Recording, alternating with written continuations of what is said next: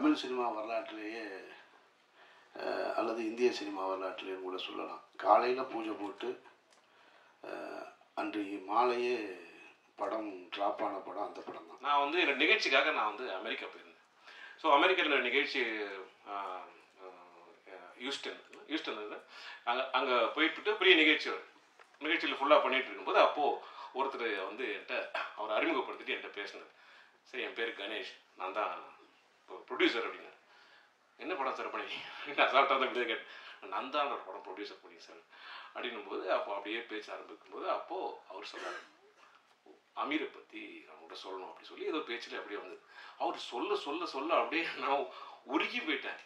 இப்படி வந்து ஒரு மனிதர் இவ்வளோ இவ்வளவு விஷயங்களில் ஆளுமையோடு இப்படி இருக்க முடியுமா அப்படின்ட்டு. அதுலேருந்து என் மே அவருக்கு மேலே ஒரு தனி அன்பு ஒரு பெரிய ஒரு மரியாதை எல்லாமே எனக்கு வந்து அவரை பற்றி பல சிக்கல்கள் பல விஷயங்கள் கேட்கும்போது முதல்ல கண்ணிலிருந்து கண்ணீர் தான் வந்தது முதல்ல. அது ஏனேன்னு தெரியல நான் அவ்வளோவா அவர்கிட்ட பழகினது கிடையாது. பட் அந்த அளவுக்கான ஒரு அன்பை வந்து நான் ஒரு மனுஷன் பழகாமையே வந்து கிரியேட் பண்ண ஒரு ஒரு மிக சிறந்த ஒரு மனிதர் அவர். திரு இயக்கத்தில் மட்டுமல்ல தமிழில் மட்டுமல்ல ஒரு மனித நேயத்திலும் ஒரு மிகச்சிறந்த ஒரு மனிதர். உங்கள் அனைவரின் அன்பான பாராட்டுகளோடு ஆசீர்வாதத்தோடு நம்ம இந்த மேடையிலே அன்பிற்கினிய சகோதரர் ஆமீர் அவர்கள் அழைக்கிறோம்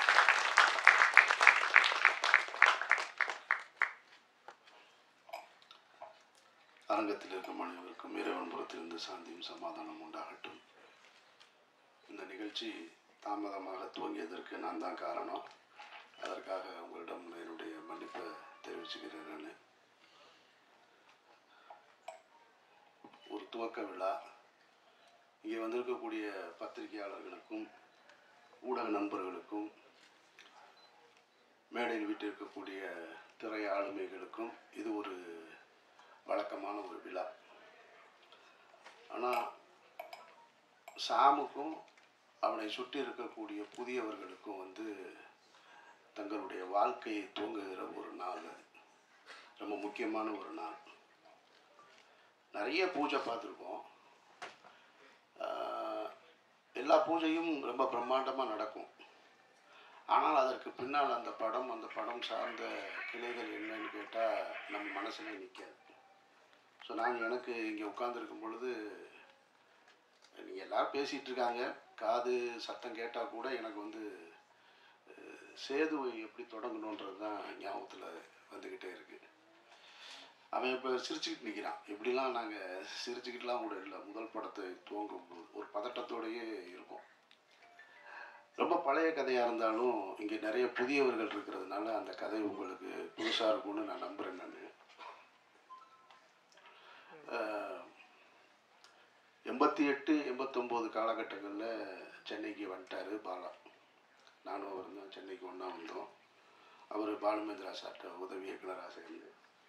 தொண்ணூற்றி மூணில் வந்து முதல் முறையாக படம் பூஜை போடப்பட்டு பாலா இயக்குனராக அறிமுகப்படுத்தப்பட்டது அந்த படத்துக்கு பேர் வந்து அகிலன். தமிழ் சினிமா வரலாற்றிலேயே அல்லது இந்திய சினிமா வரலாற்றிலேயும் கூட சொல்லலாம். காலையில் பூஜை போட்டு அன்று மாலையே படம் ட்ராப் ஆன படம் அந்த படம் தான். அப்படி ஒரு ஹிஸ்ட்ரி அந்த படத்துக்கு இருக்குது அகிலன்ற டைட்டிலில் காலையில் பூஜை அம்மாலே வந்து இந்த படம் ட்ராப் இனிமேல் பண்ண மாட்டாங்க அப்படின்னு சொல்லியாச்சு. அதற்கு பின்னால் பல நாயகர்கள். இந்த பாலான்றவர் யார் அப்படின்னா பாலு மகேந்திரான்ற அப்படின்றது ஒரு மரத்திலிருந்து பறிக்கப்பட்ட ஒரு படம் அது அன்னைக்கு விதைக்கப்பட்டது. ஆனால் முளைக்கலை. அது முளைக்காமல் அப்படியே நின்று போயிடுச்சு. கிட்டத்தட்ட பட்டு போயிடுச்சுன்னு கூட சொல்லலாம்.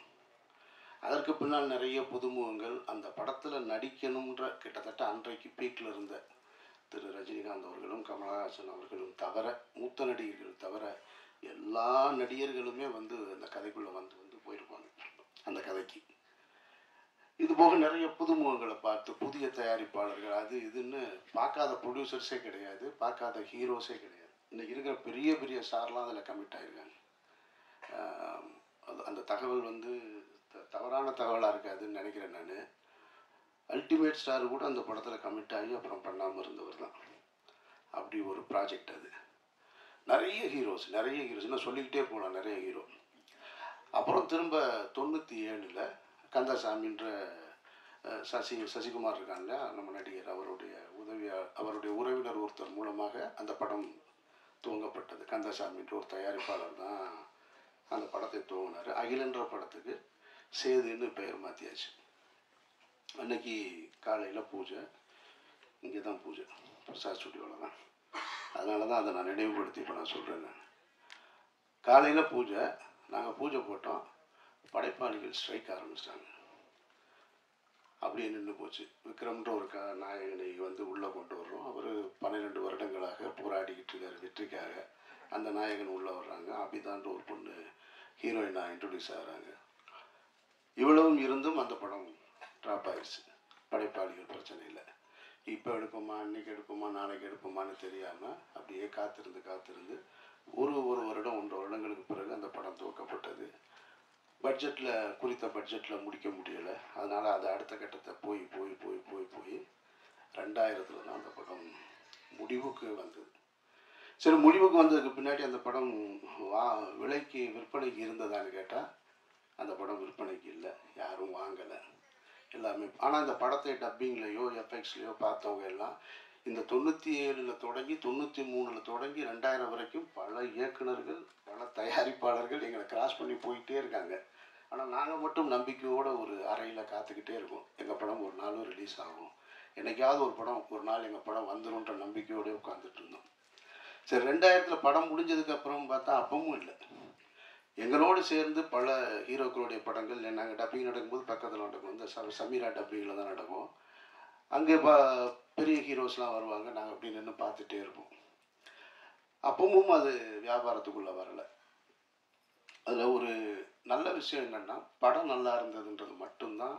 ஒரு இயக்குனர் தன்னுடைய கனவுகளை ஒட்டுமொத்த கனவையும் தூக்கி ஒரு படத்தில் உழைப்பாக போட்டு படமாக்கி வச்சுருந்தார். அது அது அவருக்காக மட்டும் செஞ்சது இல்லைன்றதான் ரொம்ப முக்கியமானது. அதை நம்ம கவனிக்கணும் அது. ஒரு டைரக்டர் நீங்கள் படம் எடுக்கிறாருன்னா அது உனக்கானது மட்டும் கிடையாது. ஒரு தலைமுறையை உருவாக்குறது.